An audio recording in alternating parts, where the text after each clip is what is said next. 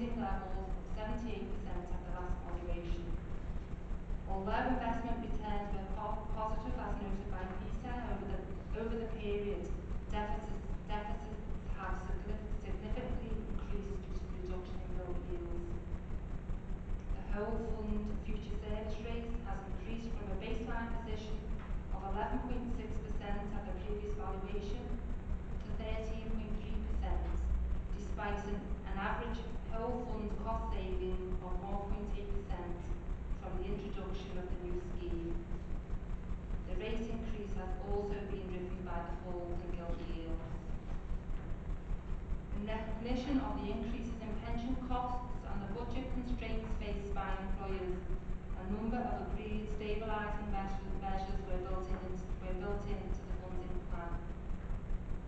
Fund officers have, a, have engaged with employers to reach affordable contribution schedules within defined funding parameters, taking account of employer governance and the long-term solvency of the fund.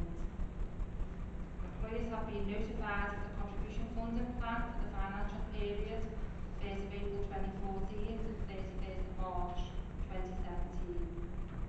The key risk identified under section 3 is that unaffordable contributions will lead to a number of fund, leaving irrecoverable debt that must be met by all remaining employers.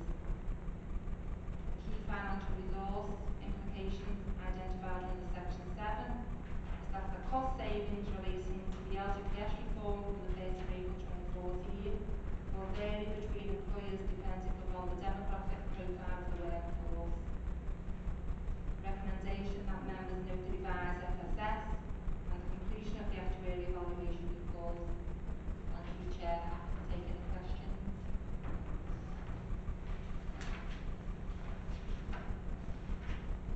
No questions? So happy to. Yeah, uh, could, could I just ask about the, uh, under seven point three, the second paragraph, the dialogue that's taken place between officers and employers and some actuarial modelling, has, has that, you know, assisted the process in terms of trying to reach some kind of agreement or compromise with the employers on any potential rises in employee Yes, it contribution has. rates? So, yes, it has, because part of the funded strategy, we um, were aware of the increase in the pension costs and all budget, budgetary constraints faced by employers. So as part of our FSS, we built into that some stabilising measures, whereas we would allow employers to phase up their deficit contributions and their future service rates.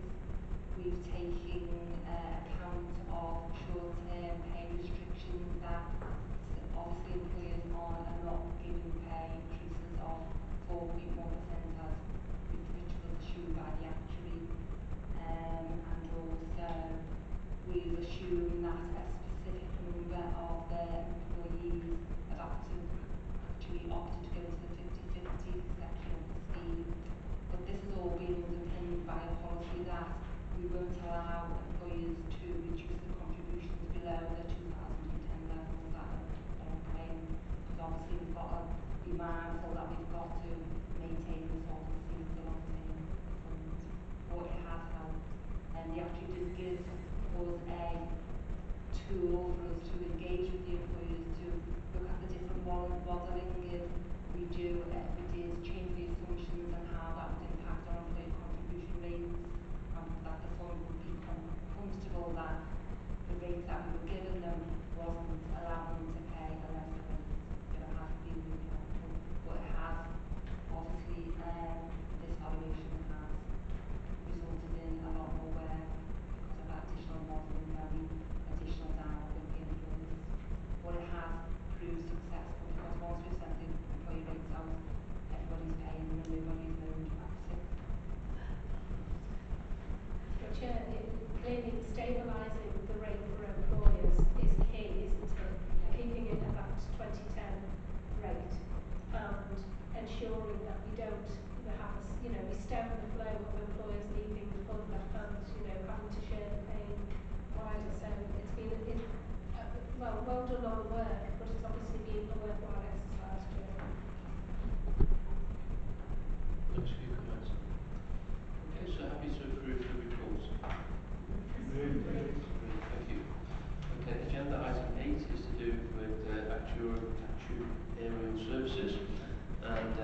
so we have a quote on that one. Okay, thank you. Thank you, Chair. The purpose of this report is to inform members of a three-year extension of the contract with Funds Actuary Mercer. All funds are required to obtain suitable actuarial advice and services to enable the discharge of a range of duties under the local government pension scheme. In 2011, a procurement exercise took place for the provision of such services, and this was a joint procurement with Cumbria and Lancashire County Councils. The recommendation to appoint Mercer to fund actuary was agreed at Pensions Committee on the 27th of June 2011, and Cumbria County Council and Lancashire County Council also appointed Mercer as provider of the actuarial services through their own local governance arrangements. The contract period was for an initial three years commencing on the 1st of October 2011, with an option for an additional three years. Prior to enacting the extension, officers have reviewed the relationship and the services delivered by Mercer under that contract. In paragraphs 2.7 to 2.9 is a summary of the, uh, the amount of work that is going towards actuarial services. Certainly since the contract was um, appointed, the contract appointed Mercer, in 2011, there has been a considerable exponential increase in the number of academy schools requesting admittance into the LGPS and the amount of work that the actuary is being asked to perform. Members were aware under paragraph 2.8 that we've had a fundamental change to the scheme. Yvonne has just um, summarised the triennial actuarial evaluation, the amount of work that is actually taking place in regards of stabilising contributions, etc. So whilst a significant proportion of the incurred actuarial costs are being charged back to individual employers, there is still an increased cost of the fund due to the growth in activity. However, until 2.10 to 2.12, the quality of the actuarial services summarised as remaining at a high standard. There is an effective working relationship between fund officers and Mercer staff, and certainly Mercer responded positively to the increased use of their services without any noticeable detriment to the quality or timeliness of their work. Under section 3.2 is highlighted that a transparent working relationship between suitably qualified actuary and officers is fundamental to the successful administration of the fund. On section 7, under re- resource implications, the increasing use of actuarial services in both activity and complexity are reflected in the figures. The total contract costs incurred by the fund to the 31st of March 2014 are 499,700. The contract value in 2011 was scoped at approximately 1 million for the whole period of six years. On paragraph 7.4, projected actuarial costs for the fund are contained within the budget setting process, and Donna, in her earlier presentation, actually um, highlighted some of that. The recommendation is that members note the extension of this contract with Mercer for an additional three years as permitted under the original tender documentation, which takes the termination of the contract the 30th September 2017. Thank you, Chair.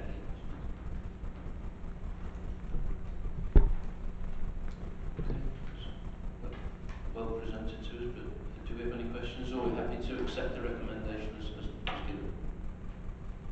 Yes? Okay. Thank you.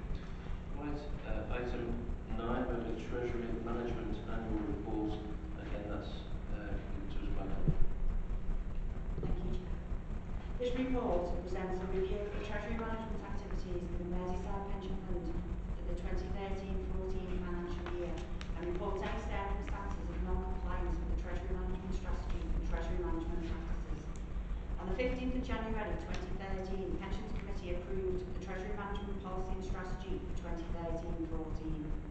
As at the 31st of March 2014, MPF had a cash balance of 30.8 million, excluding the Icelandic deposits.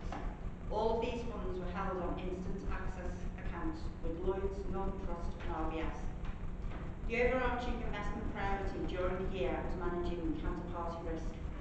Investments during the year included deposits on call accounts and deposits with UK banks and investments in AAA money market funds. 2.7 within this report highlights that over the 12-month period, WM calculated the cash performance to be 1.9% against a benchmark of 0.4%. There was one area of non-compliance with the policy during 13-14, detailed within section 2.10. In March 2014, the RBS long-term rating was downgraded below the limits set out within the policy, although MPF continued to maintain a small balance on the instant clarify, on the announcement of the downgrade, significant balances were transferred to other counterparties. A small balance has been kept on the account to keep the account open as RBS, our previous bankers, on occasion, there are receipts that are credited to this account. The account is now monitored daily to ensure any credits into the account are transferred in a timely manner.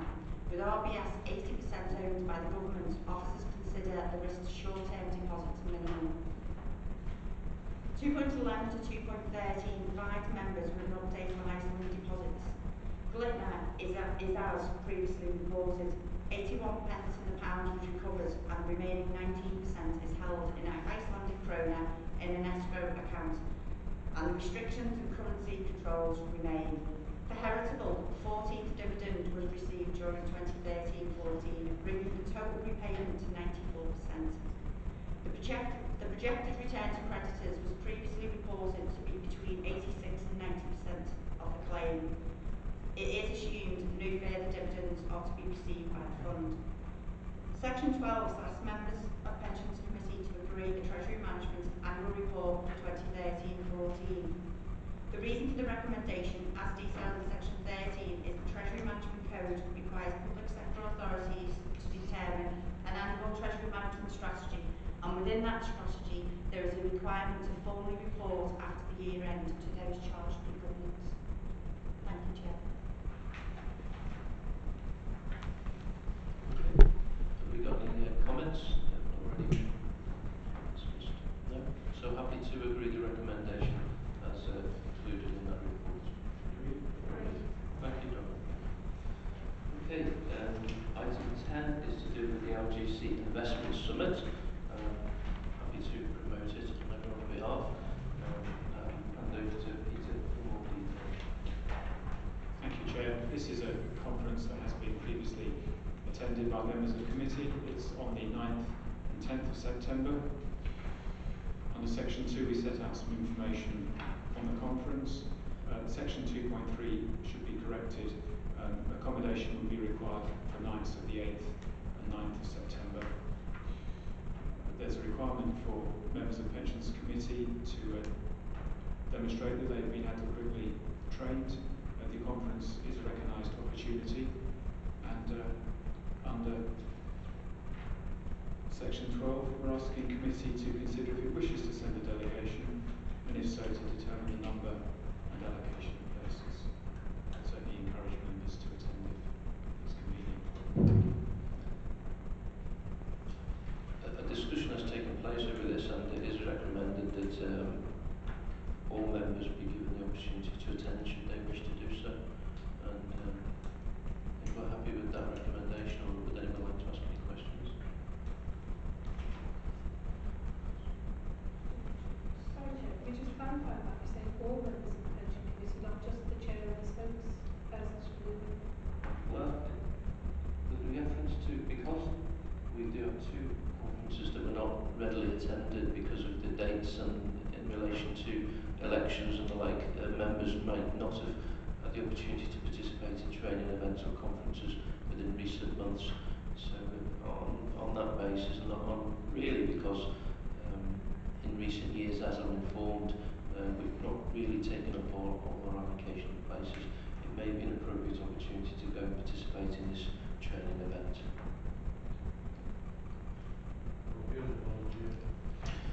Okay, so those members who, who might wish to go along, we're suggesting that you check your diaries and, uh, and follow through and uh, make yourself available to attend and participate in this training event.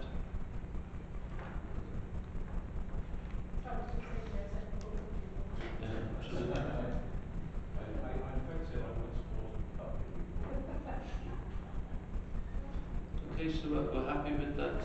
Um,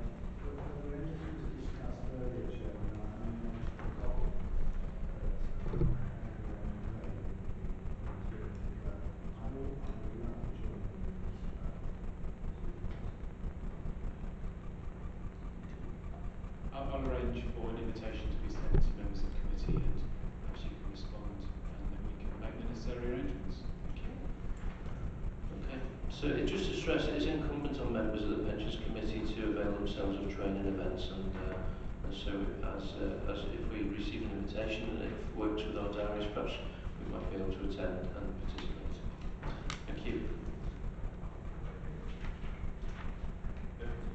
Again, with reference to European equity mandate, and this is um, laid out in this supplementary report, this particular agenda item. Yes, thank you, Chair. The purpose of this report is to present members with the recommendations of both officers and uh, JLT, our investment consultants, the appointment of investment managers to a European equities mandate. Under section two, we give some background. Approval was given on the 20th of January uh, for a public tender exercise to be undertaken. And uh, under section 2.2, we remind members that 5.5% of the fund's assets are allocated to external investment managers. Under section 2.3, JLT were given specific brief to carry out the final stage evaluation of the submissions and officers work with them in doing so. We sought to identify forward-looking indicators in the manager's submissions. Uh, without jumping ahead under section three, uh, there are some risks. There's often a tendency to appoint managers when they're performing well, just before they start to underperform, or also to fire managers just as they're about to start to outperform. So we sought to uh, incorporate some forward-looking indicators to avoid some of these biases. Um, and we conclude at the end of section 2.3 as, as to how we did that.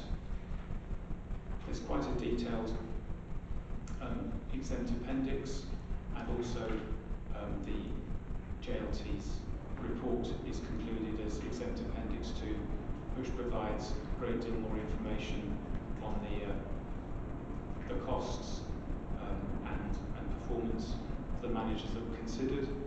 In relation to the cost of the exercise, we point out under section 7 that the, there are no costs, uh, consultancy costs borne by the fund, uh, and the recommendation under section 12 is that members approve the appointment of the managers as set out in the JLT report.